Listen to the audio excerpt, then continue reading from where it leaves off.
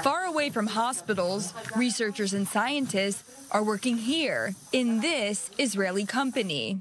In Caesarea, a northern city on the Israeli coast, IceCure Medical was born. The company's revolutionary technique freezes cancerous tumors. IceCure Medical developed and markets innovative cryoablation solution for women health and other organs.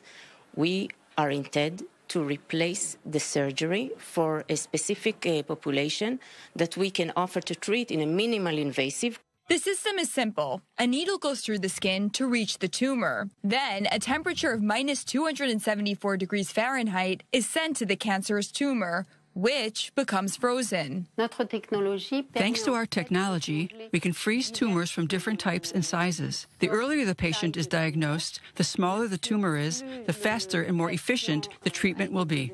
Once frozen, the tumor becomes inactive. Then, the body performs its natural role, eliminating the dead cell.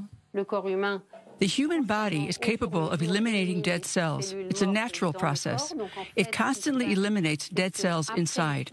So once the freezing operation is performed, dead cells are eliminated in the coming days or weeks.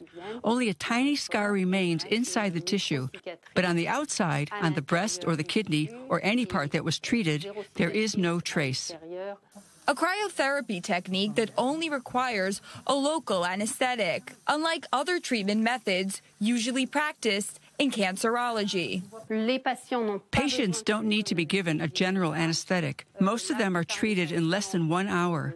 Some little tumors can be treated in 10 to 15 minutes. It's a very fast and straightforward procedure. The patient can even go home on the same day or the day after.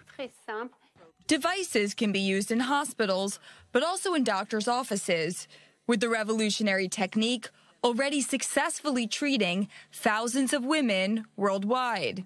Up until now, we have treated more than 400 uh, breast cancer patients in Japan. In the US, we are performing a clinical study. We have, uh, up until now, treated 200 uh, breast cancer patients. The Israeli device is already available in the United States, Asia, Australia, and in some European countries such as Spain and Germany.